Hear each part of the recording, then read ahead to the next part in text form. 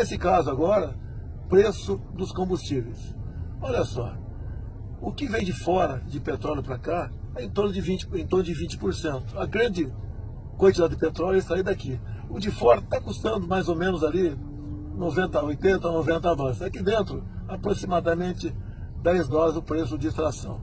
Ou seja, acompanhar o preço internacional com a minoria entrando aqui, isso é de, falta de caratismo, isso é um mau caratismo, no mínimo, que se fizesse pelo menos uma média ponderada.